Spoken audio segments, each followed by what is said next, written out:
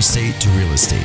It's Money Matters with Dino. Jim, you're called in at the beginning stages of uh, escrow opening, and your job is to go in and inspect the home. Tell me what what that entails. Well, first off, I'd like to mention that when people are out shopping for a home inspector, do not go online and pick an inspector for 199 because you're going to shoot yourself in the foot. And if you go on the internet and you type in your area home inspections, that guy is going to pop up at the top of the page because he's paying for that.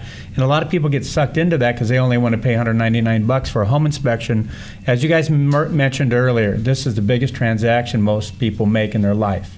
So why do you want to go get a home inspector that's going to be 199 $249?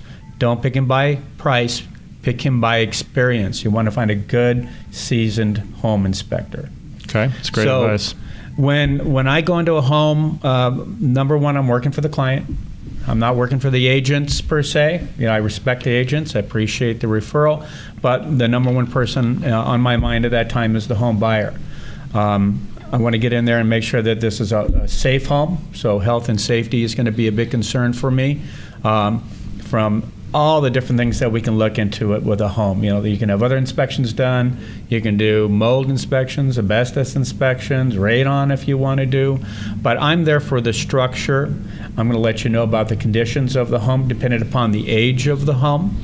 So I'm going to be checking the roof, what kind of condition we are on the uh, roof right now, the exterior structure, uh, the windows, the outside, the envelope, the utilities. Um, if it's raised foundation, we have the fun job of crawling underneath and checking the foundation.